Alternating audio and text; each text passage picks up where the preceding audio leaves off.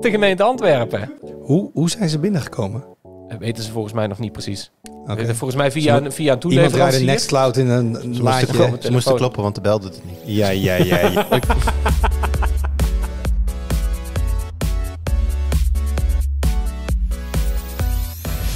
Hoi, leuk dat je luistert. Welkom bij de Tweakers Podcast, aflevering 248 alweer. We zijn bijna bij de 250. Oeh, jubileumpje.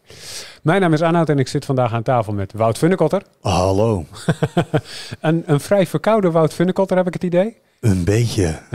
Hij kwam vanochtend binnen. Arnoud, eh, alsjeblieft, host. Eh, letterlijk precies zo. Ja, Ja, het is meer als ik te veel achter elkaar praat. Ik voel het nu al kriebelen. Dan eindigt het gewoon in één grote hoesbui. Ja, het helpt ook dat we in de studio zitten die half... Het kunnen, kunnen natuurlijk onze kijkers niet zien, maar die wordt Nee. ach- achter Wout wordt die half verbouwd voor wat ga, ooit gaat worden een nieuwe, een nieuwe studio voor... Weet je dat ik allergisch ben voor stof?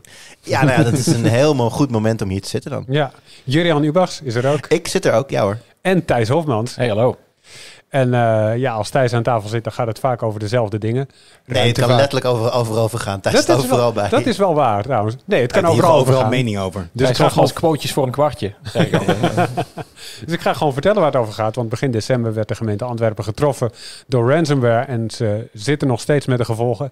En zou data van Antwerpenaren online gezet worden deze week. Dat is uiteindelijk niet gebeurd, maar ze hebben er wel heel, heel, heel veel last van. En dat duurt misschien nog wel tot eind januari. Daarover straks meer. En zeker over de markt voor ransomware en hoe die zich heeft ontwikkeld de afgelopen jaren. Maar eerst natuurlijk de highlights. En dan begin ik traditiegetrouw gewoon bij Wout. Oh, Oh, je- ik zag je helemaal kijken naar, naar Jurgen. Ja, nou ja, ik, ik, ik, ik vind, ik, vind ik goed, maar sommige mensen hebben misschien inmiddels iets gehoord en daar vragen over. Dus ik dacht, Misschien- laat, ja, laat ja, ik hem ja, eerst ja, even bij. Wout parkeren. Misschien is er een olifant in de kamer. Er Die zit een olifant... Nou zeg, ik heb een beetje veel gegeten. maar- The elephant in the room. Ehm, Podcastadvertenties. Die zijn er. Ja, we hebben dat, nou, hoe lang doen we dit nou al? Ja, 250 afleveringen bijna. bijna. Dus reken het even terug naar 52 weken per jaar. Er hebben een paar keer eh, eh, eh, advertenties bijgezeten. Ik denk twee of drie keer. Ja, we doen het al een tijd.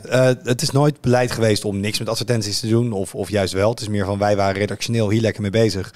De collega's van de salesafdeling die waren druk bezig met banners en dat soort dingen. En niet zozeer met podcast advertising. En dit jaar kwam toch vaak de discussie een beetje op gang. Kunnen we daar misschien wat mee en hoe en wat? Ehm, en ik hoorde eigenlijk vrij recent dat, dat, dat de collega's van sales daar wat enthousiaster over waren geworden. En zeiden ja, we hebben ook wel mensen die dat willen. Ehm, De accountmanager kwam langs rijden een nieuwe Lamborghini en die zei... Hey, je moet even wat gaan roepen in de podcast, want eh, ik heb een nieuwe auto. Ja, nou, hij zei dus niet, je moet wat gaan roepen. Eh, want we gaan, eh, als je vaker een podcast luistert, dan weet je dat je ook host red ads hebt. Ja. Dat is de host, dat zijn wij. Mhm. Eh, dan eh, zichzelf laten omkopen tot reclamestem. Vonden wij wat minder bij ons passen. Ja. Eh, dus dat doen we niet. Dus het, het zijn gewoon traditionele pre-rolls. Eh, dus een, net als op de radio, een reclame op de Ja, radio. is- even een klein technisch dingetje. Je zegt nu, het zijn, het zijn pre-rolls, het zijn reclameblokken eigenlijk. Het is niet gezegd volgens mij dat ze alleen maar pre gaan, toch? Zo hebben we het nu wel gedaan. Of op, we zijn net begonnen. Ja. Ehm, dus op dit moment is het aan het Nee, begin. maar als jij nu zegt, het zijn alleen pre-rolls... en we hebben straks over een aantal weken iets in het midden zitten een keer, dan... Nee, het zijn geen host red ads. Dus het zijn Nee, rolls, nee, maar je kan ook gewoon een voor... mid-roll, post-roll. Precies dat. They see me rolling. Het kan alle kanten op. Mhm. Uh, maar we beginnen maar eens met... En het is ook niet dat we hier een groot masterplan nu hebben... om aan het eind van het jaar vijf uh, advertenties in de podcast te hebben. Dat ook weer niet. Maar de vraag kwam voorbij. En we dachten wel... Ja, op zich, uh, bij alle dingen die je op Tweakers gratis kunt consumeren... staan er altijd advertenties tegenover. Dus waarom zouden we dat hier, uh, hier ook niet doen? Daar zijn we op zich niet, uh, niet op tegen. Dus ik heb het ook best wel gek, we nemen dit op. Ik heb die hele ad ook niet gehoord, die nu ingekocht is. Dus misschien heeft hij nu al hiervoor gespeeld, misschien niet. Dit wordt dynamisch, wordt dit namelijk ingefietst via onze hoster. Het is niet mm -hmm. dat Arnoud in de edit een mp3 ervoor plakt. Nee. Um, dus ik, ik hoop dat hij leuk was. Of als je hem nog moet horen, ik hoop dat je hem leuk vindt. Ik weet het eigenlijk helemaal niet. Maar het, het gaat dus wel komen. Uh, of het is er dus al. Heel, heel strak verhaal dit. Um, wat wel goed is om te weten, als jij uh, een abonnement hebt bij ons, check dan even het abonneeforum.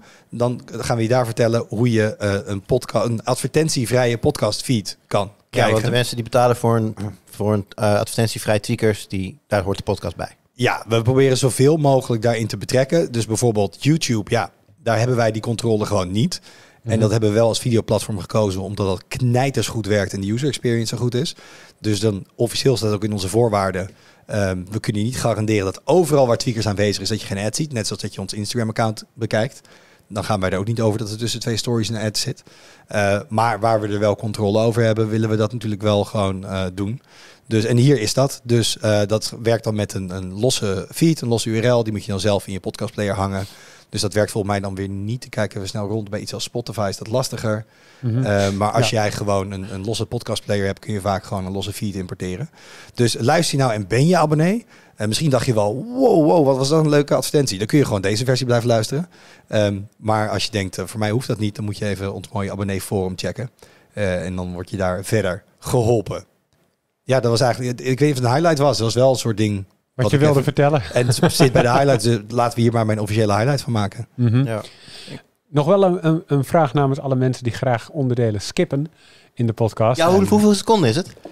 Ja, ik moet het letterlijk zeggen, ik heb het nog niet gehoord. Voor mij was hij om en nabij de 17 seconden. Oh, Is mij verteld. Heel weinig. Eén keer drukken en je bent er al. Nee, ik bedoelde meer van, eh, want eh, we zetten er altijd hoofdstukken in op eh, verzoek van best veel luisteraars die dan denken, ja, ik hoor Thijs graag praten, maar als Arnoud iets te vertellen heeft, dan sla ik dat liever even over. Ehm, en dat kan, want we hebben hoofdstukken, dus dan kun je gewoon keurig doorgaan. Maar advertenties, die willen daar nog wel eens mee rommelen. Eh, en dan kloppen de hoofdstukken dus niet meer. Hoe, weet je hoe dat zit? Want het wordt dynamisch gedaan natuurlijk. En bedankt. Normaal stel je dit soort dingen van tevoren even dat ik me kan Sorry. voorbereiden. Nee, nee. Ik bedacht het me ineens. Ehm, Ik hoop dat hij ze aanpast Hm. eigenlijk. Dat als hij hem dynamisch erin zet, dat hij overal 17 seconden bij optelt of zo. Maar eh, we gaan het zien. ja, Maar dan zijn de hoofdstukken ongeveer. ja, inderdaad. Dan weet je ongeveer waar je moet zijn als je niet naar jou wil luisteren. Ja, ja. Ja, dus dat moeten we mee hebben. Dit is voor ons ook hartstikke nieuw. Dus ehm, Ik Moet in ieder even geval even zeggen dat ik het fijn vind dat we gewoon collectief blijkbaar hebben afgesproken. En dat de mensen die ook bij, verder bij Tweakers werken op de commerciële afdeling daar ook mee akkoord gaan. Dat we die niet zelf hoeven voor te lezen. Ik, Ja. ik vind dat heel fijn. Want ehm, wij plaatsen bij Tweakers natuurlijk ook wel eens advertorials of branded content. Die schrijven wij als redactie ook niet. Dat Nee. willen wij ook niet. En dat wordt ook heel erg in het bedrijf meteen geaccepteerd. Er is een heel duidelijke scheidslijn in van dat is een heel, dat is heel glad ijs waar je je dan op gaat begeven als je dat doet. En ik, ik vind het fijn dat dat ook hier gewoon niet gebeurt. ja, ik moet zelf zeggen, als luisteraar van podcast vind ik host reds soms kunnen. Ligt ook een beetje aan het podcast. Kijk, Mhm. Heel erg. bij, als het een soort, soort meer luchtige, humoristische podcast is, dan maken ze vaak een grapje ervan en een grolletje. En die mensen pretenderen ook niet eh, journalist te zijn of onafhankelijk te zijn, dat soort dingen. Maar het zou toch maar gebeuren dat wij hier opeens een script krijgen Ja. voor de eh, Galaxy S23 en dan, Ja. nou Arnoud, ga maar vertellen wat een geweldige innovaties erin zitten. Ja, Ja. Dat, dat, dat, dat, dat gaat gewoon niet. Nee. En dat, Dat wil je ook niet. En dan moet je, en dus de, inderdaad, dus dat hebben we ook Klopt. wel in het begin meteen gezegd. Ja, dat, dat past gewoon niet. Moeten we ook niet willen. Nee. Dus dat, nee, maar ik eh, vind het in ieder geval fijn dat, dat, ook, dat we dat ook gewoon doorzetten. En dat daar, eh, dat daar in ieder geval van hoge hand ook niet moeilijk over wordt gedaan. En zo, dat we die redactionele onafhankelijkheid wel gewoon kunnen bewaren. Ook in onze podcast. Anders doen we gewoon een Dat podcast walkout. Gaan we gewoon met z'n allen gaan we- zoiets, gaan we maar- buiten staan. Want dat, dat pikken we. Nee, maar inderdaad, ik, ik vind dat ook fijn. En dat Dan rent er hier iemand van sales naar binnen en zegt... Deze walkout wordt mede mogelijk gemaakt door De NordVPN. door Coolblue. Volgens Tweakers de beste webshop. maar dit is ook helemaal nooit een discussie geweest. Dus Nee. eh, nou, iemand zei wel eens een keer van... Ja, maar die hostthreads zijn veel leuker om naar te luisteren. En zeg ik, ja, dat, Is wel dat, zo. dat snap ik Ja. ergens wel. Ja. Maar dat moeten wij afwegen tegen Ja, onze... het probleem is dat het een glijdende schaal is. Kijk, ik kan me nog voorstellen dat je zegt van... Nou, joh, jij doet games, dus deze KPN-reclame of wat dan ook... is voor jou redelijk ver van je bed. Maar ja, ten eerste, die geldstroom van KPN naar Tweakers... komt natuurlijk ook gewoon uiteindelijk in mijn salaris terecht. Mhm. En ten tweede... Ja, wat ga je op een gegeven moment... We zitten natuurlijk niet altijd in dezelfde... Dus als je host doet... En op een gegeven moment... Stel, jij bent er alleen en er ligt een telefoon iets op tafel of wat dan ook. Of überhaupt gewoon iets waar je heel dichtbij... Ja, dat, is, dat, dat kan je, daar, daar moet je gewoon niet aan beginnen. Nee. Hoe, hoe, hoe goed je dat ook indekt in het begin van... Nou ja, hij, die kan dit wel doen, die kan dat wel doen. Uiteindelijk kom je op een plek terecht dat gewoon zo glad ijs is dat je op je, op je bek gaat. ja, daar ben ik ook bang voor. Ja, maar, eh, Dus dat doen we niet.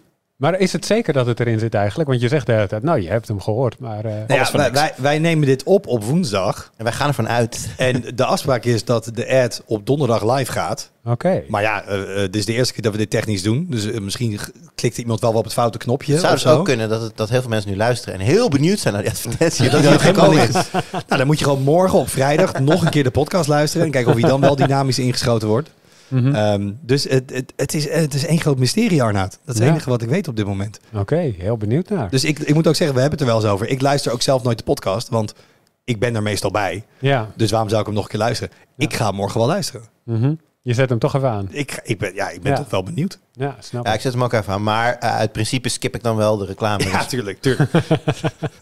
Ik zet hem ook altijd aan, maar ik wil altijd weten of ik de goede online heb gezet. Of dat ik toevallig die van vorige week eh, per ongeluk heb geüpload. Is wel eens gebeurd. Ja, het een voordeel is dat wij in ieder geval niet in een netwerk zitten waar we verplicht andere podcasts moeten aanprijzen. Want mijn meeste podcasts die ik luister beginnen nu net van, er is een nieuwe podcast. Ken je deze podcast al? Ja. Nope, skip.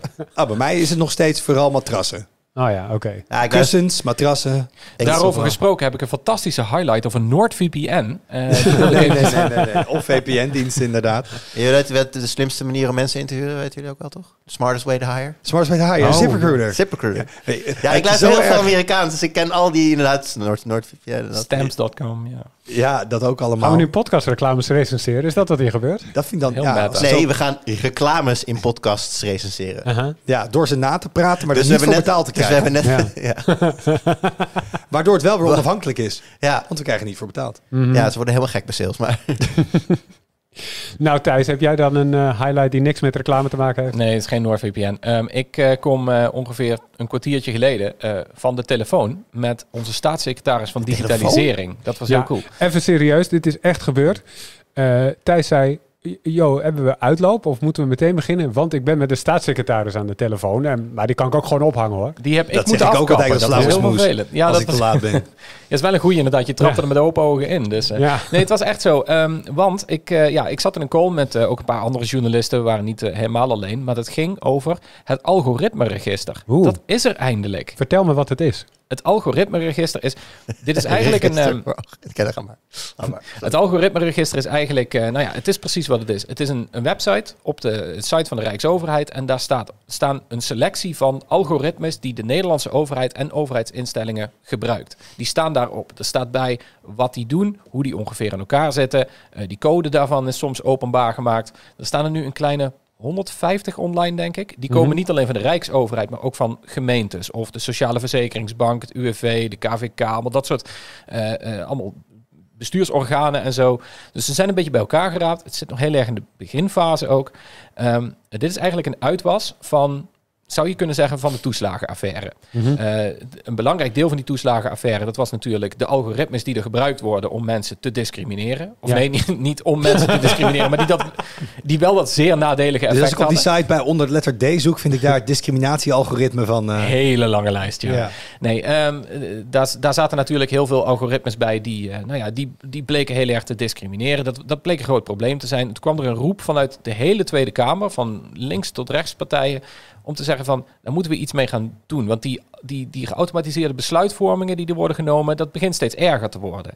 Eh, we hadden ook zaken zoals Siri, hebben we ook nog gehad, het systeem risico-indicatie. Dat was ook een heel controversieel algoritme. Ja. En toen heeft de regering bij het aantreden, ehm, hebben ze gezegd van in het regeerakkoord, wij gaan een algoritmeregister maken.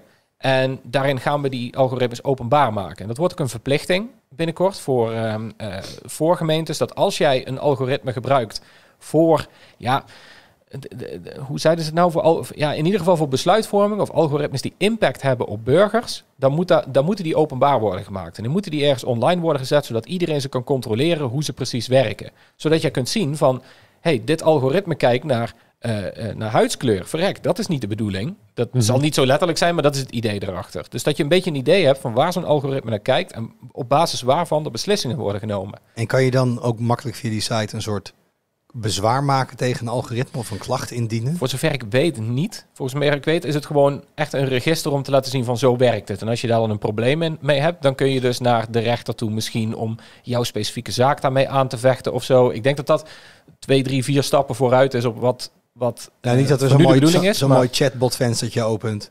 Zegt, nee, zover, algoritme kan ik je helpen vandaag? nee, als de overheid dienstverlening zo goed zou zijn, dan, eh, dan ja, dat zou helemaal mooi Ja, zijn. gelijk Nee. tegen die chatbot. Schrijf even een essay over dit, dit eh, register. ja, precies. Ehm, nee, zover is het niet. Het is echt bedoeld om, om openbaar te maken. Van de overheid die vindt gewoon van die dingen die moeten openbaar zijn. Ik zeg Mhm. overigens de overheid vindt. Dat is niet helemaal de Nederlandse overheid die dat vindt. Dat vindt Europa. Europa die gaat dit namelijk ook verplicht stellen in de AI-act. Ehm, dat is, eh, die is vorige week, ik wil zeggen aangenomen, maar dat gaat bij Europa nooit met aan. Dat is- Met. Hij is door een, een fase, één van de tien fases heen.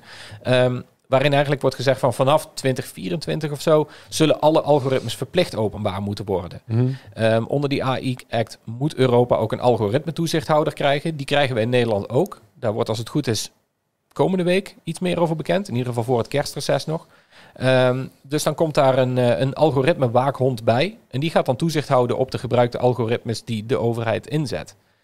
En ja, ik vind het mooi dat dit er is. Dit is een, een stukje openheid van de regering. En het is ook een, een, een digitaliseringsstandpunt dat de regering heeft, eh, heeft beloofd tijdens Ja. het regeerakkoord. Dat gewoon wa- waar is gemaakt. Ja. Weliswaar met iets vertraging. Het zou eigenlijk voor de zomer al wel zijn. Dat is verlaat. Maar goed, alsnog, het is er nu.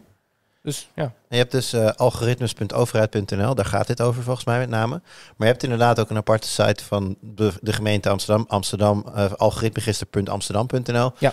Zijn die complementair aan elkaar of vind je daar in principe dezelfde algoritmes terug? Of? Er zijn sommige gemeentes en andere overheidsinstellingen die zelf al zo'n algoritme-register hebben opgezet. En Amsterdam was er één van, Ja, Rotterdam, Rotterdam, is er ook één, ja. En dat, eh, dat heeft ook een beetje als blauwdruk gege- eh, gegolden voor dit eh, register. Daar hebben ze heel goed naar gekeken, ze hebben daarmee samengewerkt. Zeggen, hoe doen jullie dat nou? Algo de Amsterdam gebruikt heel veel algoritmes, maar die hebben ze gewoon een, een paar jaar geleden al openbaar gezet. Ze zeggen van, op basis hiervan bepalen wij of jij wel of niet een parkeervergunning of een parkeerboete krijgt of weet ik veel wat.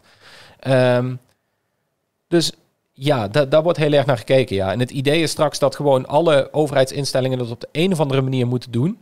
Ehm, en dat ze in ieder geval op dit register hun, hun algoritme openbaar zetten. Maar als je daar dan meer informatie over wil, dat ze daar dan op hun eigen site meer uitleg over moeten geven. Dat is het idee erachter. En, Ik- ja? Ik ben heel... Dit wordt nu gemaakt, dus dan zie je voor me dat er een intern mailtje rondgaat. Iedereen die met algoritmes wat doet, inventariseren. En we gaan het allemaal op een hoop gooien. Maar nu moet je het gaan bijhouden. Dus als er nu een nieuw iets gebouwd wordt, een nieuw stuk software met een algoritme, of misschien wordt het algoritme aangepast, het moet wel in die werkproces zitten. Oh jongens, we moeten het register bijwerken. En ik ben heel benieuwd, als we hier over drie jaar naar kijken, of dan alle dingen die erop staan up-to-date zijn. Met hoe het echt Ja. in de praktijk gebruikt wordt. En ook of het compleet nog steeds is. Of dat je af en toe weer mensen. Een, ik, we hebben ook wel eens van die processen hier, weet ik veel. Dat je ad- adresboeken opschoont en dat soort dingen. En, en dat, dan doe je één keer heel goed. En daarna moet je weer gaan bijhouden. En dat is vaak lastiger. Ja, is nou, twee, twee dingen daarover. We krijgen daarvoor dus een toezichthouder. Die komt onder de autoriteit persoonsgegevens te vallen. Die gaat dat in principe, heeft hij dat als hoofdtaak om daar in ieder geval ehm, toezicht op te houden. En in ieder geval daar ehm, correcties op te kunnen geven. Je krijgt ook boetebevoegdheid en dat soort dingen volgens mij. Ten tweede,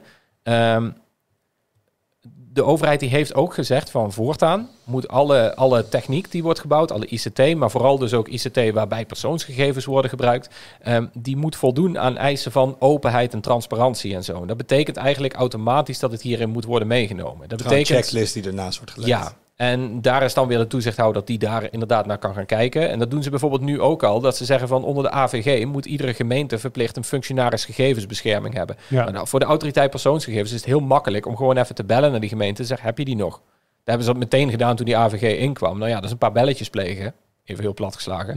Ehm, en dan heb je dat gecontroleerd. Nou, ik, ik kan me voorstellen dat zoiets soortgelijks met die algoritmes ook gaat gebeuren. En wat ik ook wel een interessante vond, in die call met, met, eh, eh, met staatssecretaris Van Huffelen zat ook Ron Roosendaal. Eh, en die ken je misschien als de man achter Corona-melder. Ja. Dat was die corona-app ehm, die toen na een wat hobbelige start ehm, is ontworpen via een... Ja, eerst begon die appathon en later zijn al die experts daarbij gehaald. Allemaal Ja. security experts, privacy experts, juristen, eh, programmeurs. Iedereen is daarbij gehaald. En toen hebben ze echt gewoon als een soort hackathon gaan kijken van... hoe kunnen wij deze app zo privacyvriendelijk mogelijk maken? En dat is ook wel echt heel succesvol geweest. Ik kijk even naar jou, Arnold. Je hebt Ja. het heel goed gevolgd. Maar ik, ik denk dat je dat echt wel een groot succes mag noemen. Ja, ik heb daar eh, opvallend weinig, ja, behalve uit echte de, de, de extremistische hoeken. Maar voor de rest was daar eh, Ja, binnen, daar binnen, ging het- binnen de IT ja, daar was ging daar het- opvallend weinig kritiek op. En Ja, precies. dat is wel eens anders bij overheidsprojecten. De kritiek die ging vooral over het feit dat die app er überhaupt was. Maar wat er aan die app werd gedaan, dat werd inderdaad wel alom geprezen als zeggen Ja. van hij is echt heel goed en privacyvriendelijk opgesteld. Ja. Nou, dat is een, een werkwijze waarvan ministers ook, minister De Jonge heeft dat nog gezegd, toen nog van Volksgezondheid, die heeft toen ook gezegd van ja, dit was zo'n succes, dat gaan we vaker doen met meer apps. Ehm, en toen vroeg ik dat aan Ron Roosendaal van ja, jij was daar toen bij betrokken, ga je dat nu met die algoritmes ook doen? En hij zei ja, in principe zul je dat straks overal gaan zien, bij ieder algoritme dat een gemeente nu gaat opstellen, dat daar een soortje externe experts wordt aangetrokken, allemaal een beetje volgens een vast stramien, daar zijn ze mee bezig om dat een beetje te standaardiseren, dat je als je, als je met een algoritme aan de gang gaat, dat je daar wat experts bij haalt, zodat, dat, zodat die, over, die openheid en transparantie erin moet voorkomen. Ja, Dus ja, ik, ik hoop dat dat zo is. Het zijn hele mooie woorden. We moeten dat natuurlijk altijd gaan, eh, gaan bekijken. Ja, sindsdien ja. hebben we wel corona-check gehad en nu weer die, eh, die eh, NL-wallet. Eh, beide zijn wel deels in openheid ontwikkeld, maar niet Ja. zoals coronamelder. Misschien niet zo in de openheid, maar wel met die experts erbij volgens mij. Die, on- die, die externe onafhankelijke experts die daar worden bijgehaald. Dat is volgens mij wel wat er nu ook met die wallet gebeurt. Ja, ik zou wel zeggen, hoe het nu gebeurt, is Minder wel een soort van coronamelder light aanpak. Ja, een beetje wel, Het is ja. niet helemaal hetzelfde. Nee, niet, niet helemaal. Dus Dat klopt. ik, ben, ik heb er een hard hoofd in dat het exact hetzelfde gaat zijn als, als daarbij. En of het inderdaad dan een even goed resultaat oplevert. Maar Ik denk dat dat iets is wat we inderdaad over twee jaar nog eens moeten gaan bekijken van hoe staat het daar eigenlijk mee. Maar ik denk dat dit in ieder geval een, een goede stap in de juiste richting is. Dus dat, Ja. is, eh, dat vind ik absoluut een highlight. zet, zet een reminder in aflevering 350. Kunnen we daar eh, weer op terugkomen. Check. Doe ik. Jur, wat heb jij meegenomen deze week? Ja, het zou mooi zijn als ik hem nu op tafel kon leggen. Maar dat, Ja, kan, mooi, hè? dat kan nog niet, want het is, eh, het is iets wat op 26 januari uitkomt. Ik heb het over de DualSense Edge controller voor de PlayStation 5. Is dat niet eigenlijk anderhalve maand te laat? Dit wil je toch onder de kerstboom? Ja, eigenlijk wel. Voor ja. jezelf. Ik, het sterker nog, we waren daar en ik zei, ook ik, ik, wil, ik zei op een gegeven moment tegen Luc van, ik, ja, je, je bereidt dan in je hoofd een beetje je tekst voor, niet helemaal uitgeschreven, maar het zei ik tegen Luc van, ik had bijna gezegd van, leuk voor onder de kerstboom, maar inderdaad, het, het, het, het, kwam, het komt later. Nee, het is de, de, de, Pro, de zogenaamde Pro-controller voor de PlayStation 5, het, het, het, de grote broer van de normale DualSense controller, die eh, wij eh, alvast eventjes konden gaan uitproberen op het eh, kantoor van PlayStation 5. Wellicht heb je de, de videoreportage ook al gezien of het artikel Mhm. gelezen wat daar, wat daar uitkwam. En ehm, ik was eigenlijk in die zin wel klaar mee. Het was voor mij afgerond tot ik ehm, maandag op de redactie kwam. En nou, het ging daar even over. Het ontstond er eigenlijk heel, heel organisch een, een discussie over wat een controller mag kosten en wat het voor je doet en hoe je dan die kostenafweging maakt. En dit was, toen was- dacht ik van, nou weet je wat, ik gooi hem gewoon eens eventjes sowieso op tafel, maar dan figuurlijk. Ehm, wat, wat mag een controller kosten, Arnoud? Ja, ik ben met 50 euro geloof ik wel echt klaar. Ja, maar, Ja. Je, precies, je, jij Maar gamet ik ben geen fanatieke veel. gamer, dus Ah, eh ik denk, Wout gamet al uit. iets meer dan jij, denk ik, maar Ja. ook niet heel veel meer. Geen 240 euro. Ehm, De, de Xbox Elite controller ligt, zit nu rond de 130, volgens mij, 130, 140. Ja, Stop. zoiets, ja. En dan wil ik hem ook. En kijk, ik ben niet iemand die ehm, een, een, een betere kwaliteit trigger gaat waarderen of zo. Dus waar ik zou voor juist voor betalen, wat Xbox doet bij die Design Lab, dat je eigenlijk hem echt kan customizen en dat soort dingen. Dat, dat vind ik geld waard. Ja, dat kan bij PlayStation niet, wel bij Scuf, maar bij Scuf betaal je dan per wijziging. En dat zijn er nogal wat, betaal je 5 of 10 dollar. Ik, ik zag dat de controller die 250 of 240 euro kost bij Scuf. Daar kwam ik op 380 dollar uit met al mijn aanpassingen. Die Laat ik zo ik- zeggen, als je het aan de Xbox kant kijkt, ik heb liever een customized versie van de standaard controller. Dat vind ik Ja. waardevol. Dan Leuk. een Ja. zwart-grijze versie van de Elite controller. Maar betere grip, dat soort dingetjes, dat speelt dat niet mee. De, de flippers die achterop zitten, bijvoorbeeld bij race games, dat je dan een soort van pedals hebt. Ja, je hebt, een- je hebt een stuurtje. Ja, dus oké. En grip, ja, er is nog nooit een controller uit mijn handen geglipt op eens, zeg maar, van de bank. Nou, Nee. ik, heb- ik heb er wel eentje. En Ja, wie ik- controller? Nee, nee, ik heb ook een Switch. En, en, en Joy-Con drift is echt een probleem waar heel veel mensen eh, mee te maken hebben. Het zijn ook echt irritant kleine dingen natuurlijk. Dat is wel waar. Maar als, je, als bij die controle van 240 euro drift optreedt bij die joystickjes, kun je ze eruit ploppen en voor een Ja, tientje ja vervangen. de, de, hele, de hele module is inderdaad uitwisselbaar. En het is zo makkelijk dat ik het echt gewoon instantly gewoon zelf kon doen. ja. Meteen zelf kon doen, sorry. Eh, dus dat- dat zijn wel kleine dingen. Het is een beetje een, een, een, een, eh, een gek pluspunt. Want het, het, het is fijn, omdat bekend is van de thumbsticks van de PlayStation... dat ze best wel makkelijk eh, kapot gaan. Dus, Ja. om, dus het is nu een feature dat je dat heel makkelijk kunt vervangen. Ja, dat is fijn.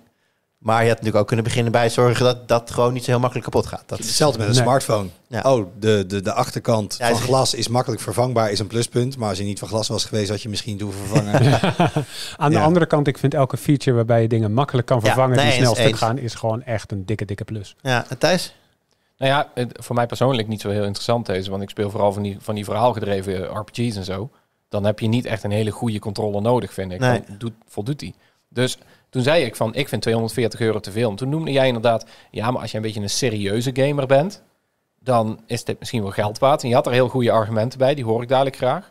Ehm, Nou, die kan ik nog wel even opleveren voor je. Want ja, We kwamen erop. ja, doe dat dus, want omdat- dan heb ik een vervolgvraag op. ik, eh, ik, ik, ik, ik, was, wat, ik had het natuurlijk ook met Kamerman Luc over. Want je bent op dat moment ter plekke aan het soort van afwegen van hoe je het vindt en, en, en, en, en hoe je het allemaal afweegt. En toen zei ik ook tegen Luc van ja, Eigenlijk is het hetzelfde als een telefoon. Ik koop, ik koop over het algemeen geen dure telefoon. Maar mensen die dat wel doen, zeggen van ja, maar het is het apparaat dat je het vaakst Ja. gebruikt. Mensen gebruiken hetzelfde. Zeker mensen die ver van hun werk wonen, gebruiken hetzelfde argument voor een auto. Weet je wel, het, moet, het, het mag allemaal wat zijn als je er heel veel, eh, ook nooit besparen op je bed, dat soort dingen. En toen dacht ik, ja, mijn PlayStation wrap-up, want net als Spotify kun je bij PlayStation een wrap-up krijgen van wat je dit jaar allemaal gedaan hebt, Mhm. stond op 509 uur. Oeh, Ja, en als je het zo bekijkt, Het is echt schokkend dat de game reviewer zoveel heeft gericht. Ja, gegamed. heel moet je nagaan dat dit dan alleen mijn PlayStation 5 nog maar is. Maar, maar in ieder geval, eh, als je het zo bekijkt, denk ik van ja, dan, dan zou je kunnen zeggen dat het een relatief kleine investering is.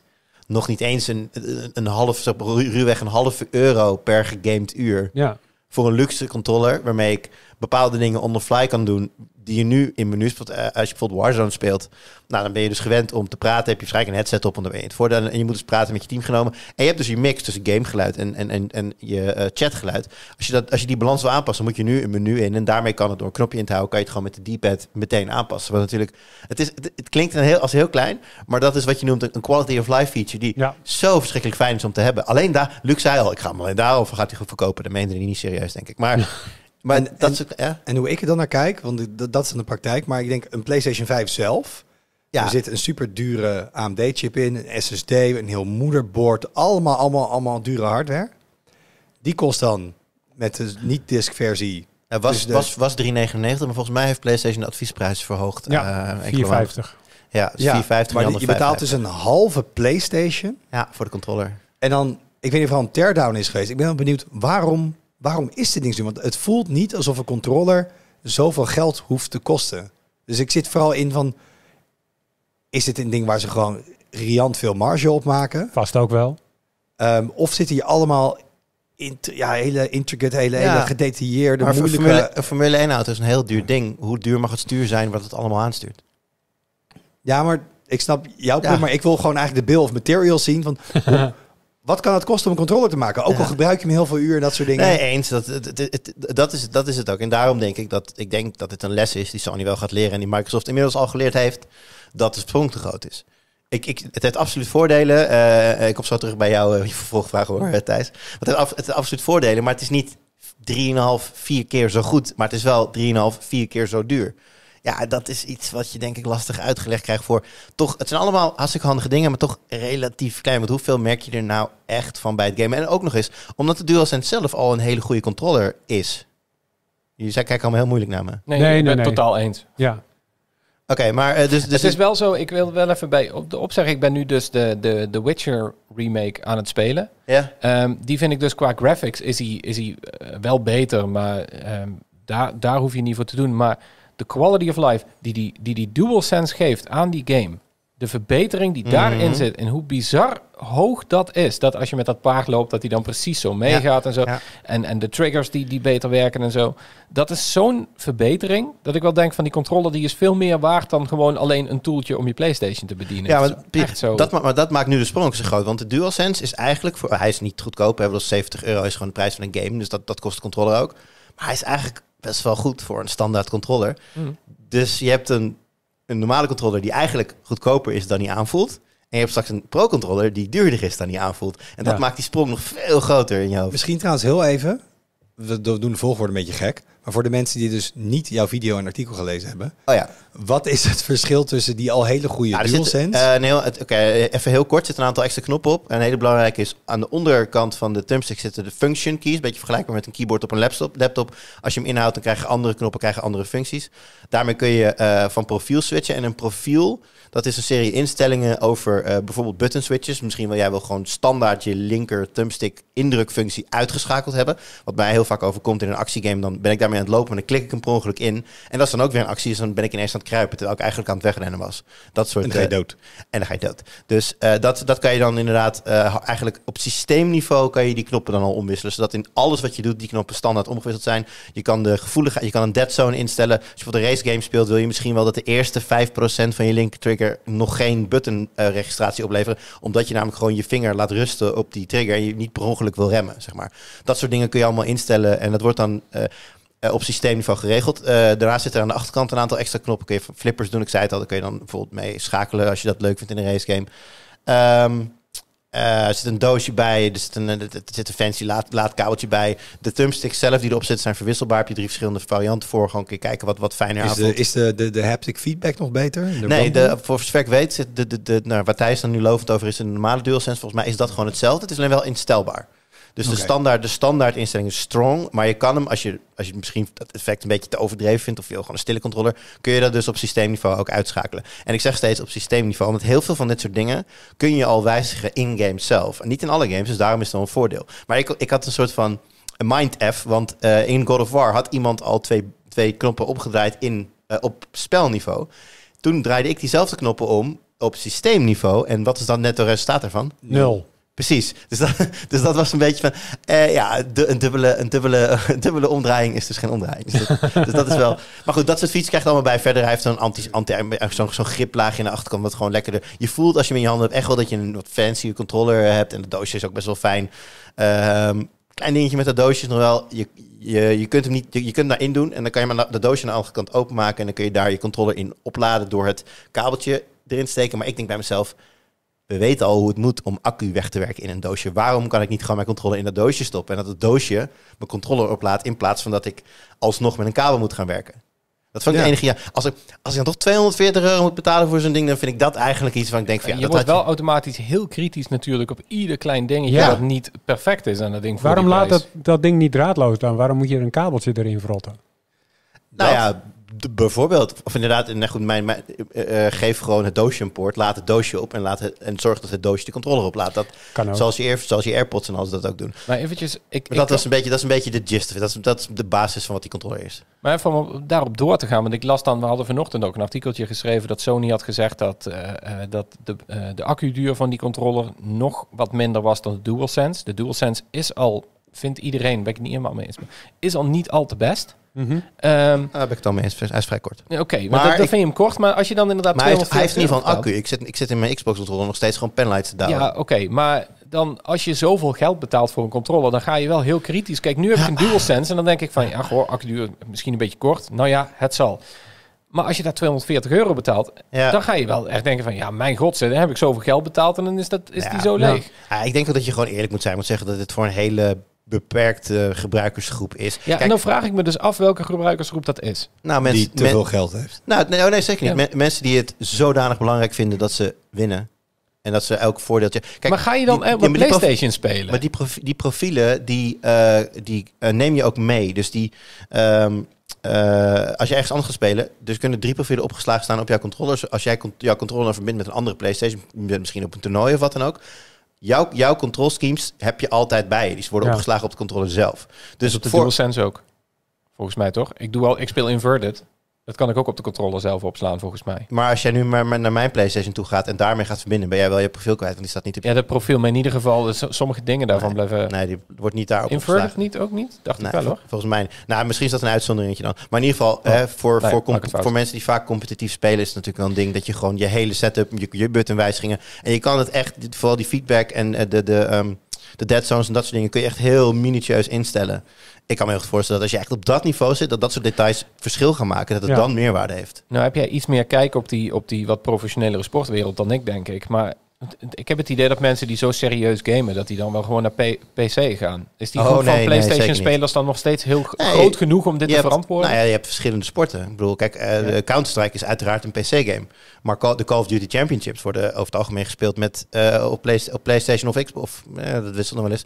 Eh nou, nu, als de overname doorheen gaat, zal het vaak Xbox zijn. Maar, eh, d- d- Dus FIFA kan ik me voorstellen. precies, er zijn gewoon er zijn ook eh, console eh, e-sports. Ja, dan heb je spelen gewoon bekabeld trouwens, allemaal gewoon kabeltjes, eh, nooit, nooit draadloos. Maar ja, dan je instellingen zijn natuurlijk heel. eh, en dan word belangrijk. je gewoon keihard gesponsord. Dus dan 250 euro voor een Precies, kijk, controller. de- Big de- whoop. dan, als je bij die toplaag zit, die, die, die werken waarschijnlijk met Scuf Gaming of zo samen. En dan krijgen ze zo gratis die controllers. Maar Ja. de mensen die, die dat ook graag willen bereiken, die zouden aan zo'n controller best eh, zo'n nog een kleine verbetering kunnen hebben. Ga jij hem halen?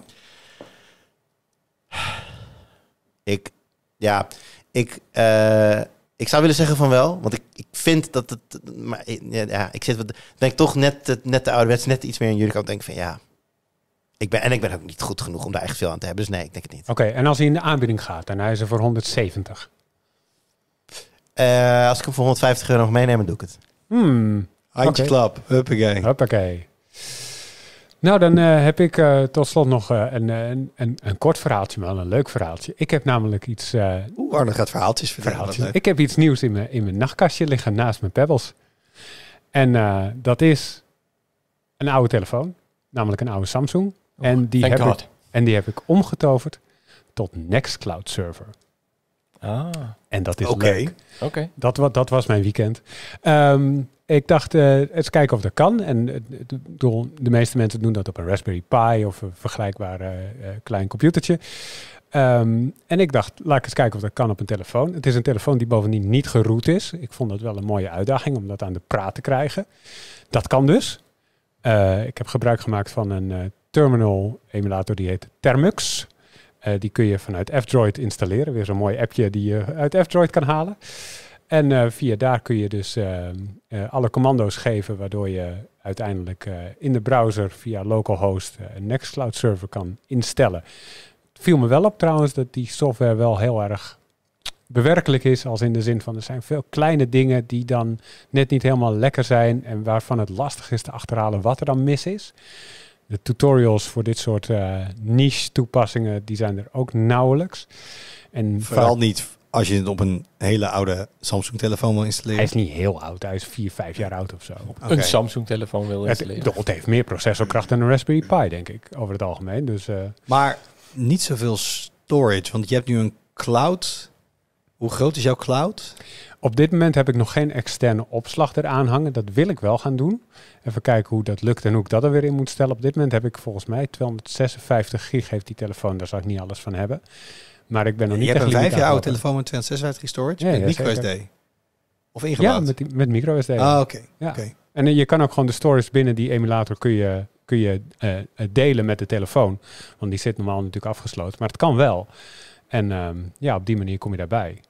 Ehm, maar Heb je dit zelf bedacht of zag je ergens online iemand die dit al eerder had gedaan op een tutorial? Nee, ik had het eerst zelf bedacht. En toen dacht ik, ja, dit is... Ik, ik, want ik wou iets met Nextcloud. Dat heb ik voor mij in de podcast al eerder gezegd. Dat leek me en interessant en, en gewoon goed om te doen. Gewoon lekker lokaal draaien. Ehm, maar toen dacht ik, ja, ik, ik zat te kijken, Raspberry Pi zijn heel slecht verkrijgbaar en zo. En toen dacht ik, ja, ik heb wel oude telefoons liggen. Misschien kunnen die het ook. En ehm, dat bleek dus te kunnen. En ik denk, ja, dat is dan een mooie uitdaging om te proberen. En, eh, Maar dra- draait het? Het draait, ja. Het is een Apache server ehm, met een MariaDB erachter en eh nou ja, gewoon PHP natuurlijk. Anders dan, eh, dan werkt Nextcloud niet.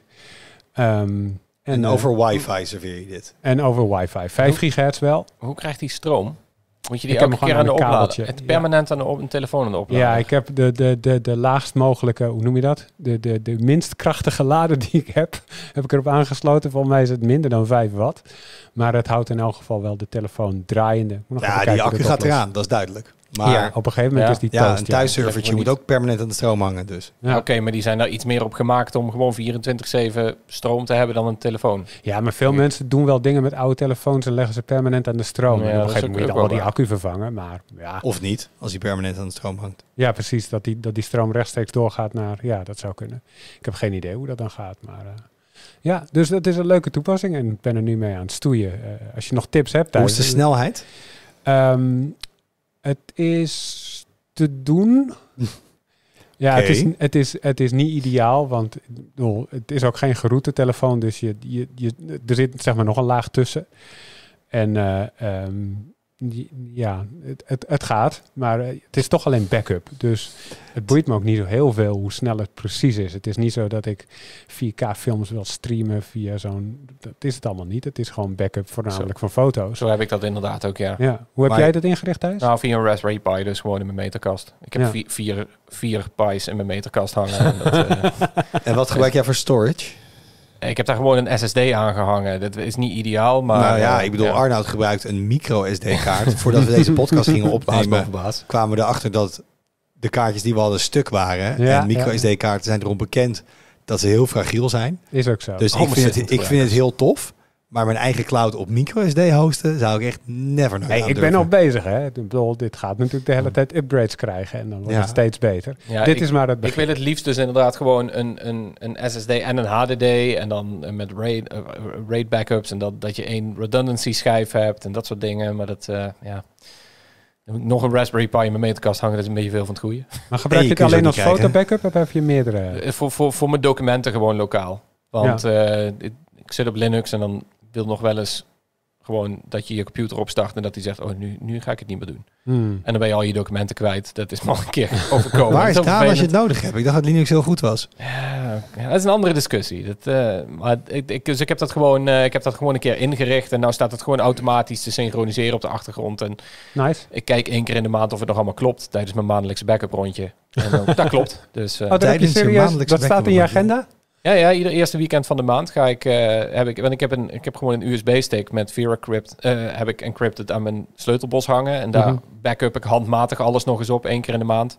Dus ook al mijn websites die ik bijvoorbeeld heb, die trek ik dan eventjes offline en daar naartoe. Of die trek ik dan gewoon via FTP daar naartoe. Ja. En eh, dat, dan heb ik een heel lijstje met, dit- mijn, mijn, mijn teksteditor bijvoorbeeld. Die draait dan in Dropbox. Dus die moet ik even downloaden. P1 monitor data, die download ik dan eventjes en die zet ik daarop. Dus als er iets crasht, dan heb ik in ieder geval maximaal een maand oude eh, data daarvan. Maar daarbij kijk ik dus ook naar de automatische backups op, op Nextcloud. Ik vind dit echt een goede gewoonte Heel verstandig. Ja. Ja, dat is heel zijn. Eén keer in het half jaar. Dan eh ja, is echt genieten, man. Dan ga ik door mijn 2FA-codes heen. En mijn backup-codes daarvan. En dan zit ik een heel weekend zit ik gewoon mijn YubiKey opnieuw instellen. En zo. Ah, lekker, man. Nou, ik vind mijn password manager opschonen en dubbele entries samenvoegen en zo, daar kan ik ook wel van genieten. Kijk, ja, dat is echt een leuk weekend. Kopje koffie erbij, muziekje op en op. Wachtwoorden gaan checken. Heerlijk. Oh, genieten.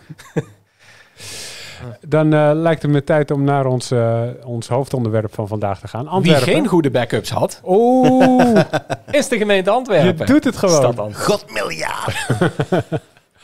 Ja, Want Thijs, eh, daarover, eh, neem ons mee wat daar precies gebeurd is. Ja, ik, ik, ik wilde zeggen afgelopen week, maar het is volgens mij al eerder deze maand gebeurd, Ja. is eh, de stad Antwerpen ehm, getroffen door, door ransomware. Ehm, as is tradition, anno 2022. Mhm. Ehm, en toen kwamen ze erachter dat er eigenlijk helemaal niks meer werkte. Ehm, het, was, het, was, het, was, het is volgens mij totale chaos als je daar nu komt. Je kon, eh, eh, je, je kon geen, sowieso geen paspoorten meer aanvragen of dingen bij het burgerlijk loket regelen. Ehm, maar ik zag ook bijvoorbeeld dat er geen pensioenen we- werden uitgekeerd. Of, of in ieder geval uitkeringen of zo. Want dat werd via de gemeente gedaan. Nou, dat werkte niet meer. Je kon niet meer naar de afvalstraat. Want daar kon je geen afspraken voor inplannen. dus die hele gemeente was gewoon totaal op zijn gat. En ehm, nou ja, uiteindelijk bleek het gewoon een vrij traditioneel ransomware verhaal te zijn. Er is een groep Mhm. geweest die heeft gewoon heel veel data buitgemaakt. En heeft gezegd van ja, je systemen werken niet meer en je data is kwijt.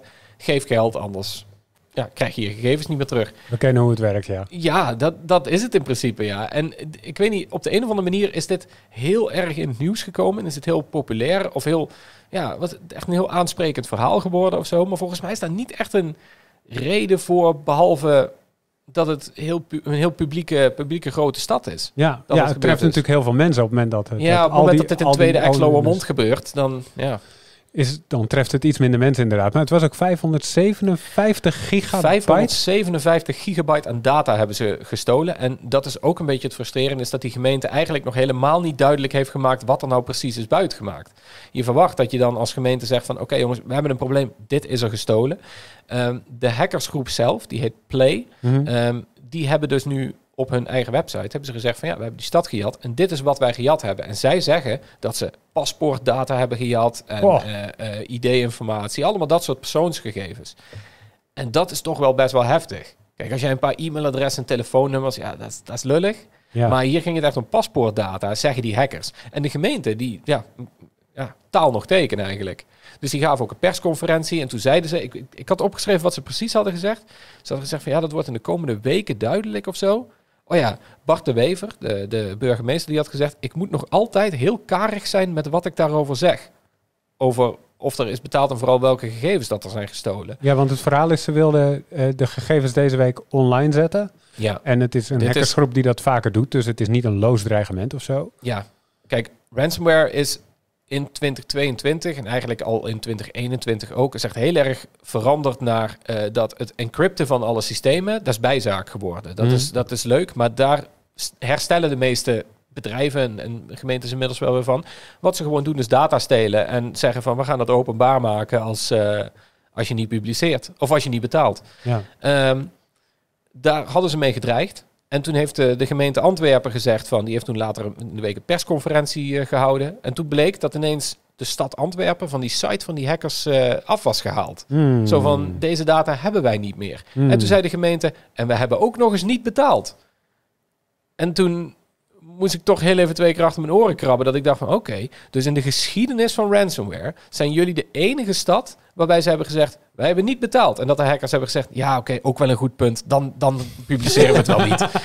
dus, Ja, ja, het is bijna kerst. Ja, ik ja. denk, ah, eigenlijk best wel een nare actie van ons. Eigenlijk helemaal niet leuk, die ransomware. Nee, precies. Ja, ja, ja, nou je het zo zegt inderdaad. Dat is dus het is gewoon een totaal ongeloofwaardig verhaal. Ehm, maar dat is dus het officiële narratief. Ze hebben stedentripjes naar Antwerpen aangeboden in plaats van geld. Nou, die hackers Ik weet het van, ah, België heeft de groepsfase van het WK niet overleefd. Het Ja. is al zwaar genoeg. Het is wel, eh, ja, ik, ik, ik weet het niet, maar het is, het is totaal ongeloofwaardig dat er niet betaald is en dat die gegevens niet worden gepubliceerd. Dus er zijn ruwweg twee opties. Ofwel die gegevens verschijnen over een week alsnog online. Mhm. Ehm, misschien is er een optie. Ik zag een Belgische journalist dat ook tweeten. Die zei van het zou een optie kunnen zijn natuurlijk dat die gegevens worden verkocht aan de hoogste bieder en dat dat niet publiek gaat. Dat zou Hmm. kunnen. En met een halve terabyte aan persoonsgegevens is dat niet heel ondenkbaar, I guess. Maar goed, dan, dan ben je alsnog als gemeente ontzettend de, de pisang. Ja, dan, eh, want ja, dan, heb je, dan heb je gewoon een groot probleem. En eerlijk, dat kun je ook niet maken tegenover je inwoners, lijkt mij.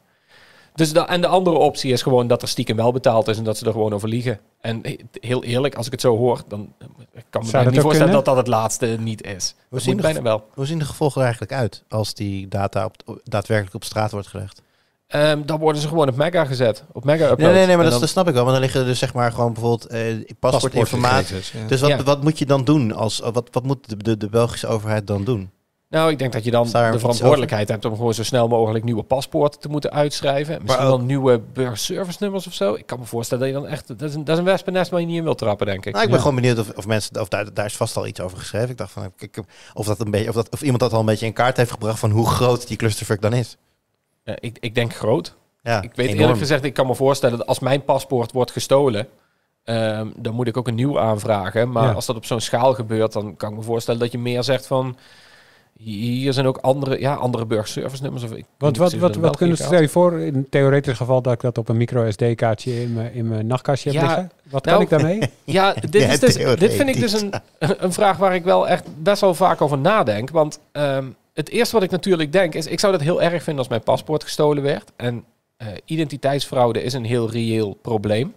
Van de andere kant wil ik daar een klein beetje nuanceren. Dat in de gevallen dat dit bijvoorbeeld wel gebeurt op grote schaal. Ik heb even geen concreet voorbeeld bij de hand. Maar er zijn natuurlijk heel veel voorbeelden waarbij ze zeggen van ja, sorry jongens, er is een datalek geweest. Deze gegevens Ja. zijn gestolen. Wees alert op eh, dat er geen bankrekeningen in jouw naam worden geopend of zo.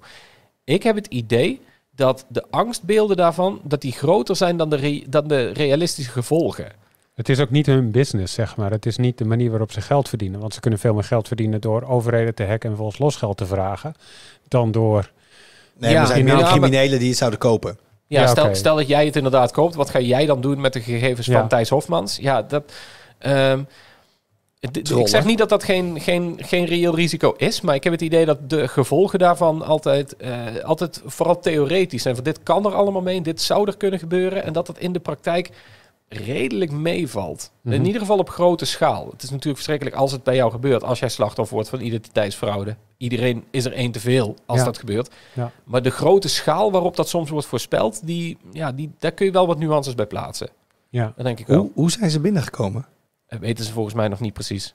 Oké. Volgens mij via, een, via een Iemand draaide toeleverancier. Nextcloud in een, Ze moesten, laadje. ze moesten kloppen, want de bel doet het niet. Ja, ja, ja, ja, ja, ja, ja, ja, ja. Die, daar ging ik, ja. Die had ik echt van mij de versie aankomen. Moeten moest zien aankomen. Ja. Nee, volgens mij ging het via een toeleverancier, een, een medische toeleverancier volgens mij. Ik weet daar de details niet precies van. Ik moet overigens zeggen dat ehm, ik heb in, was dat weer in 2019 volgens mij, ik word heel oud. Ehm, toen ben ik naar de, naar de Universiteit van Maastricht gegaan. Die was toen ook gehackt. Ja. Dat was ook heel, heel high profile zaak. Van dat, daar stonden Ja. de kranten van bol en zo. Iedere, eh, ja, het was echt een hele publieke zaak. Zij werden heel erg geprezen om hoe open ze daarover waren in, in de communicatie. En eh, ze hadden ook gewoon een hele goede communicatieadviseur in de hand genomen, volgens mij. Die heeft zijn uurtje factuurtje dubbel en dwars verdiend. Ehm, maar zij waren gewoon heel open dat ze op een gegeven moment zeiden van, nou oké, ehm, eh, het- we gaan er nu niks over vertellen, maar over een maand hebben we een persconferentie met alles wat we geleerd hebben. Toen hebben ze die persconferentie gedaan. Toen hebben ze ook gezegd van, nou, dit is hoe ze zijn binnengekomen op die en die laptop via dit programma. Ehm, dit is hoe we ze betaald hebben. Dit is het advies dat we daarbij hebben gekregen. Dit is de afweging die we daarbij hebben gemaakt. Eh, die waren er heel open over en zeiden gewoon van, ja, het is een hele lullige situatie, maar dit hebben we gedaan, dit is de afweging. De gemeente Antwerpen gaf een persconferentie dagen nadat dat eh, was gebeurd. En je zag die burgemeester echt een beetje zo, ja, die, ja het zal wel. Die, die, die lachte dat een beetje weg of zo. Het was heel awkward om dat te zien. Mm -hmm. En leken dat totaal niet serieus te nemen. En dat ze dan tot overmaat van ramp zeggen van... Ja jongens, wij hebben niet betaald. En die gegevens zijn ook nog eens hartstikke veilig. Ja, ga, ga eens weg man. Neem eens die serieus. Het is best een ernstige situatie. Ja behandel het dan ook as such. Als je Antwerpenaar zou zijn, dan had je daardoor niet, uh, was je daardoor niet ik, gerustgesteld. Ik zou behoorlijk zagrijnig zijn geweest, ja. hey, en ja. die, die hackersgroep Play, ik kende die helemaal niet nee, tot aan deze zaak. Ik wat, eerlijk gezegd ook niet. Wat is het voor groep? Um, ik heb er een klein beetje naar gekeken, maar ik, ik kende ze ook niet. Um, wat ik ervan zag, is dat ze voornamelijk op uh, Zuid-Afrikaanse of uh, Zuid-Amerikaanse landen zich richten. Dus ook op Spaanstalige landen. Mm -hmm. Het zou er een beetje op kunnen duiden dat het misschien zelf Spaanstalige hackers zijn. Maar het is wat makkelijker om een netwerk binnen te komen en overal doorheen te navigeren als je de taal spreekt. Want ja, ja goed, weet ik veel wat het Spaanse woord voor map is, bijvoorbeeld. Ja. Um, dus het zou erop kunnen duiden, maar dat is pure speculatie. Wat je in ieder geval wel ziet, is dat dit soort groepen ook steeds vaker buiten Rusland uh, naar buiten komen. Die Lapsus groep was bijvoorbeeld hetzelfde. Die is mm -hmm. toen een paar weken geleden in het nieuws geweest vanwege de, de Okta-hack en zo. Uh, dat waren ook geen Russen. Voorheen was het, was het narratief echt van ja, dat zijn gewoon Russische Alle bendes. hackers zijn Russen. Ja, dat zijn, ja nou daar, het, eigenlijk wel ja. Kwam het wel een beetje op neer. Maar dat is dus lang niet meer het geval. Dus, maar goed, nogmaals, het is pure speculatie. Dat, dat is wat we er denk ik van weten. En is het dan zo dat dat soort hackersgroepen gewoon ergens een zero day hebben gevonden of op de kop hebben getikt, gekocht dus en daar dan gebruik van maken? Nee, dat, dat is altijd het hele sexy verhaal natuurlijk. Dat je een, een lek hebt gevonden dat niemand anders weet. En Ja. dat verkoop je voor een miljoen aan een hackersgroep. Maar in de praktijk zal dat wel gewoon zijn dat iemand gewoon een, een Nextcloud server op een telefoon had draaien. In een meterkast had gelegd op het werk. En dat ze zo binnen zijn gekomen. Ik voel me totaal niet aangesproken. Ja, ja, dat, dat jij je netwerk zo slecht beveiligd aanhoudt. Dat, eh, waarschijnlijk zal het zo, zo wel iets zijn. Dat zou heel goed kunnen, ja. Hey, en we hebben het al over ransomware sinds de Tweakers podcast bestaat ongeveer. Ja. Wat is er afgelopen jaren nou veranderd in die markt? Ja, de, nou, ik zat ook dat, dit documentje een beetje voor te lezen, ons, ons voorbereidingsdocumentje. Er stond natuurlijk die vraag in. En toen dacht ik, vorig jaar heb ik volgens mij een stuk geschreven waarin ik echt kon aangeven van, nou, dit gaat er veranderen in ransomware. En er zijn wat experts en die hebben dan vrij duidelijke dingen daarover. Een, een expert zei bijvoorbeeld dat ehm, eh, ransomware die gaat, dat gaat veel persoonlijker worden. Dus ze gaan dan CEO's opbellen bijvoorbeeld en zeggen Mhm. van, hey, luister, want dat nummer is natuurlijk te vinden in een datadump. Ja. Gaan ze die opbellen en zeggen, hey, ik ben een Russisch hacker, eh, geef geld. Ehm, dat, dat zie je wel wat vaker gebeuren volgens mij in de praktijk. Maar ik heb het idee dat er niet echt heel grote, ehm, grote ontwikkelingen meer in zitten. Behalve nog meer de shift naar afpersen versus eh, gewoon een, eh, eh, een systeem encrypten. Ja. Maar dat was al een beetje de trend. Wat ik, wat ik vooral opvallend vind, is dat je eigenlijk ook binnen het bedrijfsleven heel weinig, weinig progressie lijkt te zien of zo. Ik heb het idee dat een paar jaar geleden was het allemaal van ja, ja oké, ransomware dat, moet, dat is een groot, grote dreiging. En dat snappen bedrijven wel. Maar die hebben vervolgens niet echt daad bij woord gevoegd of zo. Heb ik het, heb ik het idee dat, dat bedrijven dat nog steeds niet super Ja. serieus nemen. En dat ze veel meer kijken naar een verzekeraar om iets goed te praten. En dan een externe consultant die je daarbij standby hebt staan. Ehm, maar dat heel veel van, van, van deze bestrijding of zo in, in, van de overheid komt. Dat het Nationaal Cybersecurity Centrum meekijkt, Digital Trust Center, dat de overheid campagnes gaat houden van oh, nou is alles up-to-date en dat soort dingen. In de hoop dat bedrijven dat maar gaan doen. Maar ik heb een beetje het idee dat dat, ja, dat, dat- zo voelt dat een beetje. Alsof bedrijven dat niet echt heel serieus nemen nog. Is het misschien dat ze dat zijn gaan zien als een soort ondernemersrisico? Zo van, ja, ransomware, dat gebeurt af en toe. En dan betaal je en dan ben je er weer even vanaf. Dat zou je bijna kunnen denken, ja. Ik vond een sprekend voorbeeld van... Ik heb gisteren toevallig een artikel geschreven over Waternet. Dat is het Noord-Hollandse waterleveranciersbedrijf. Mhm. Die waren onder verscherpt toezicht komen staan... door de inspectie Leefomgeving en Transport. Ehm, die houden namelijk toezicht op ja, de drinkwatervoorziening in Nederland. Ja. En die zeiden van ja, Waternet heeft... eh, eh, eh, die voldeed niet aan de cybersecurity eisen. Want een drinkwaterbedrijf is vitale infrastructuur, is heel belangrijk. Dus daar kijken extra een paar ogen kijken daarop mee en zegt als jij je security niet op orde hebt, dan heb je een probleem. Nou, zij werden onder verscherpt toezicht gesteld. En ze zijn eigenlijk vanaf 1 januari volgend jaar dat ze ehm, niet meer onder verscherpt toezicht staan, omdat de ILT nu concludeert, ja, cybersecurity zit nu in alle managementlagen en daar wordt nu serieus naar gekeken. Ik denk, jezus, als jij onder verscherpt toezicht moet komen van de ILT, omdat Ja. security ook maar een bijzaak voor je was, voor een waterbedrijf. Ja, weet je, ik heb het, en ik heb het idee dat dat verhaal best wel exemplarisch is voor een heel groot deel van het Nederlandse bedrijfsleven, maar ook de overheid en semi-overheid en dit soort, dit, dit soort infrastructuur. Ja. Dat die uit zichzelf niet echt bezig zijn met, ja, dat er wel iets meer wordt gedaan aan security.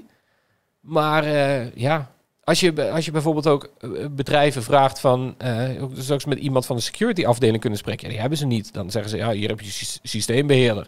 Dat is Harry, die komt drie dagen in de week onze Windows-petities eh, bijwerken. Ja, weet je, dat, en die doet ook security Harry bij. komt even defragmenteren. Ja, thanks Harry. Ehm, maar dat is de security bij veel bedrijven tegenwoordig nog. Ja. En eh, ja, ik denk dat de security-industrie heel graag ziet dat er overal CISO's worden aangenomen die hier echt dagelijks mee bezig zijn. En dat die praktijk echt niet echt ver achterblijft. Veel verder dan dat de overheid zou hopen. ja. En wanneer is Antwerpen hier vanaf? Eind januari hopen ze weer volgens mij weer up and running te zijn. Ze beginnen natuurlijk eerst met eh, eh, de systemen die het meest kritisch zijn, om die weer een beetje op te starten rustig. Want ik zeg inderdaad wel van ransomware, ze encrypten niet meer zoveel. Ehm, dat is niet meer de hoofdzaak, maar dat is natuurlijk wel wat ze nog steeds doen. En het Ja. kost een bedrijf nog steeds, of het kost een instantie nog steeds heel veel tijd om, om daar weer van te herstellen. Ja. Ik heb ooit Bijna bijvoorbeeld twee maanden dus. Ja. Nou, ik heb ooit bijvoorbeeld wel eens een verhaal gelezen over ehm, eh, toen bij uh, NotPetya uitkwam, die hele bekende ransomware in 2014 of 15 was dat denk ik, misschien wel Mhm. 2016. Toen hebben ze Maersk getroffen, dat, eh dat Ja, eh, containerbedrijf. logische- ja, containerbedrijf. Die hadden hun eh, backups allemaal op orde. Die hadden gewoon offsite backups die gewoon bestonden. En die hebben alsnog gewoon, zijn bijna drie maanden bezig geweest om alles te herstellen. Ja. Er heel lang mee bezig geweest om dat te doen. Zelfs dus als je backups hebt en zelfs als je er helemaal op bent ingesteld, kan het nog steeds maanden duren voordat jij echt weer up and running bent. Is voor alle laptops vervangen, schoonwipen, Windows opnieuw opzetten, backups terugzetten. Ga er maar aan staan. Ja. En dat is bij een grote stad als Antwerpen ook eh, het geval, ja. Ja. ja dus het gaat nog eventjes duren. Een langslepend eh, ding. Ook in Le- 2023 nog. Ook in bang. 2023. Lijkt me een goed moment om eh, dit onderwerp af te sluiten. En dan wil ik tot slot nog even vooruitkijken naar wat er op de site gebeurt. Ehm, ik heb afgelopen week meegekeken met volle interesse op de monitor van collega Donovan. Want die was bezig met twee 200 megapixel camera telefoons. Wauw. Ja. En eh, daarmee eh, denk je natuurlijk, dan kan je meer detail vastleggen. Hij heeft hem gehouden naast een paar andere telefoons die hele goede foto's kunnen maken. Namelijk een iPhone 14 Pro en een Pixel 7 Pro. En dat ligt allemaal toch wat genuanceerder, maar heel ver lag het allemaal niet bij elkaar vandaan. Dus eh, dat wow, was spoiler alert. best spannend, eh, best spannend verhaal wordt dat. We hebben weer een juridisch verhaal van mijn naamgenoot Arnoud Engelfried over linken op Heet het je internet. ook Arnoud Engelfried? Ja, ik heet ook Arnoud Engelfried. maar ik heb mijn achternaam veranderd om de verwarring te voorkomen. Oké. En eh, Google TV versus Fire TV, Wout. Wat Ja. is dat? Het schijnt dat ik ook maar weer eens wat gedaan heb. Ja. Want ik had niks te doen. Ik weet nog dat ik, ehm, toen ik een klein tiekertje was en niet werkte, had ik een gigantische PC in mijn kamertje aan mijn tv Mhm. hangen. Want dat had je toen, een home theater PC. Mhm. En tegenwoordig is dat de size of een USB-stick en dan prik je hem achter in je, Ja, in je televisie. En daar heb ik er twee van getest. oké. En je vergelijkt dan de interface en de functies en zo. En Interface, welke apps beschikbaar zijn, snelheid, codecs, afstandsbediening. Ja, de ergonomie van de afstandsbediening ja. vind ik wel... eh, ja, Ja. En, en, de stembediening, hè? En, eh, Dat gaat je goed af nu. Ja, die heb ik heel hard getest en Ja. daarom klik ik nu zo. En eh je een kerstweekend vol games. Ja, ja, ja. Ik, nou, onlangs, je, die noemde het Donny, die heeft natuurlijk eh, Diablo onlangs eh, gedaan. En Ja. er is nog iemand die, die mij even helpt met wat games. Want eh, Jeroen Horlings blijkt ver, ver, vervent World of Warcraft speler. En dat is natuurlijk Mhm. een... Die eh, gast, die Wauw. gast is echt een nerd, blijkt dus gewoon. I know. Hoe de, wie had dat nou zien aankomen? Nee, onze, onze elektrische auto en mobiliteitsgoeroe die, die heeft zich op World of Warcraft Dragonflight gestort. Wauw. En, eh, en eh, dat is dat, eh, heeft dat gereviewd. En ehm, ik zelf ben nog met Need for Speed bezig geweest. De nieuwe eh Need for Speed waarvan ik de subtitel momenteel niet kan, eh, kan bedenken. Dat is wel raar. In ieder geval, hij is eh, gematigd leuk. Maar dat komt eh, dit kerstweekend allemaal online. De een op eh, za- zaterdag, de ander op zondag. En dat eh, zijn de laatste de laatste reviews van dit jaar op gamesgebied komt wel nog een artikeltje aan eh, over de tech van eh, de Callisto Protocol. Is Reinhard mee Mm. bezig. Maar die komt halverwege. Ik weet niet, halverwege volgende week. Dus ik weet niet helemaal of dat voor of na de volgende podcast is. Ja, inderdaad, want we zijn er volgende week gewoon weer. Ook Wij zijn er gewoon weer. Jullie zijn er gewoon weer, moet ik zeggen. Yep. Deze jongen niet. Deze Ik ga ervan uit dat ik dan iets meer als mijn normale Wout klink. Ja, dat hoop ik ook. Eh dank jullie wel, jongens, voor deze week. Eh, feedback kan in de reacties onder de .geek of eh, naar podcast.tweakers.net. Tot volgende week. Doei!